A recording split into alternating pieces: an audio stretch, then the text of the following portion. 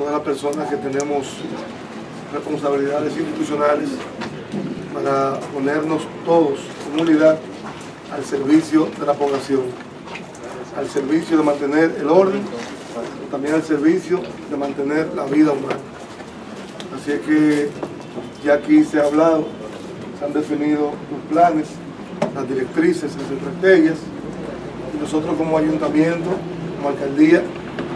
al igual que en ocasiones anteriores, no vamos a escatimar ningún esfuerzo posible para colaborar, para cooperar, para estar pendiente minuto a minuto de que la situación esté lo mejor posible. Así es que al presidente del COE, al señor gobernador, a la defensa civil y a todo el equipo de trabajo pueden contar con nosotros sin reservas, siempre y cuando nos lo permitan las posibilidades en cuanto a vehículos, en cuanto a combustible,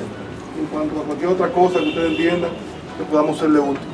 Vamos a trabajar, como dijo Manito, unidos,